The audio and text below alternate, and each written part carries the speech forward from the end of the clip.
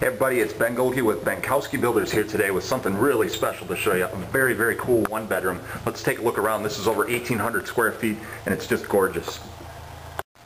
Just take a look at this incredible living room. I don't even have to say too much here. It pretty much speaks for itself. There are two patio doors facing out toward Milwaukee Avenue where you also have a balcony. And check out all this extra dining space and look at the hardwood floors. They're just beautiful.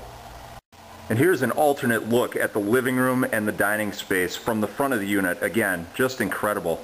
Lots and lots of space. From the beautiful flooring to the woodwork and the light fixtures, no detail is overlooked in this remodel. The bathroom is impressive. It features a unique vanity and a vessel-style sink, two full-size closets with sliding mirror doors, and a separated bathing area with a full ceramic tile tub surround. And of course, just off of the living area is the in-unit washer and dryer. The one bedroom is comfortably sized. It does have carpeting and of course it's attached to the master bathroom right over here. And now last but not least, let me show you the incredible kitchen.